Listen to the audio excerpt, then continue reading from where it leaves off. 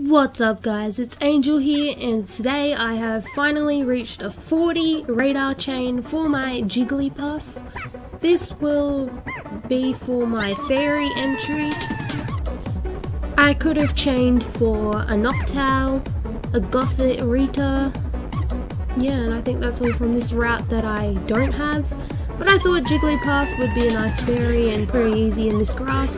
This is one of the easiest grass locations to chain, but as always, the camera angles in Pokemon X and Y are unbelievable. I'm almost confident enough in my skills to actually make a tutorial on how to chain, but it's basically teaching you how to be patient because these chains do not take like a short time, they take forever.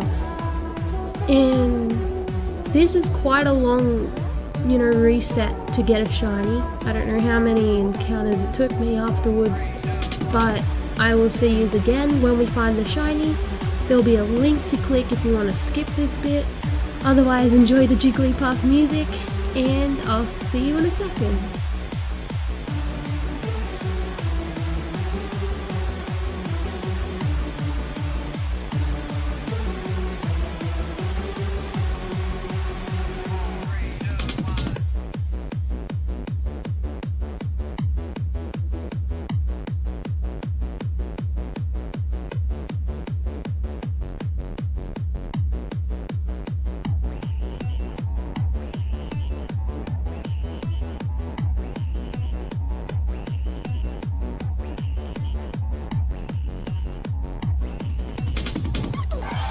Oh my god, there's a shiny patch. Alright, let's finally claim our shiny.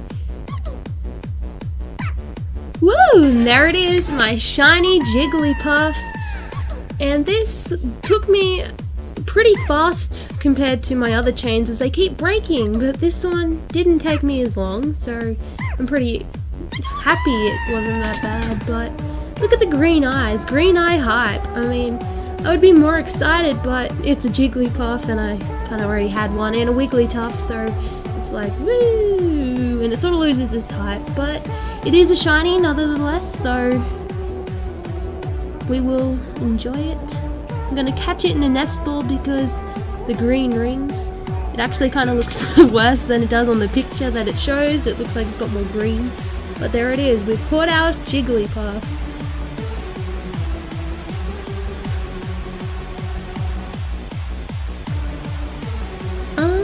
We aren't going to name this Jigglypuff, but we will check its stats, nature, whatever else there is. Alright, we'll just save here. It's always important to save after a shiny. you don't know what happens to your game. Alright, so we're just coming into our summary here. Competitive, it's got its hidden ability, and it's a modest nature. I don't know if that's good or not, but competitive as an ability is pretty good. Now we'll just find this Jigglypuff again, and we'll do a comparison to the original. So shiny to original comparison is always the best way to do chain Pokemon, in my opinion anyway. Because you can see the difference, although the green eyes are pretty obvious. Thank you for watching, good luck with your shiny hunts, and I'll see you in the next vid.